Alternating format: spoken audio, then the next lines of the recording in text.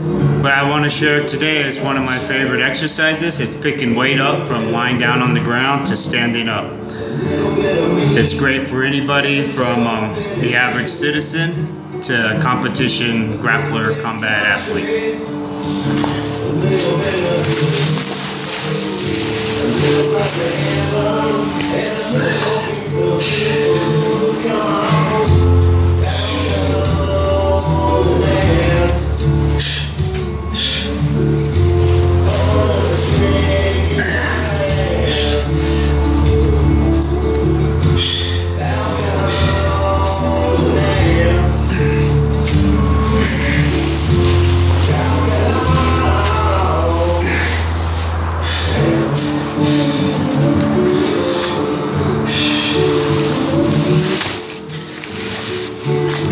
Ironmind bag, 40 bucks, 100 pounds of sand, $10.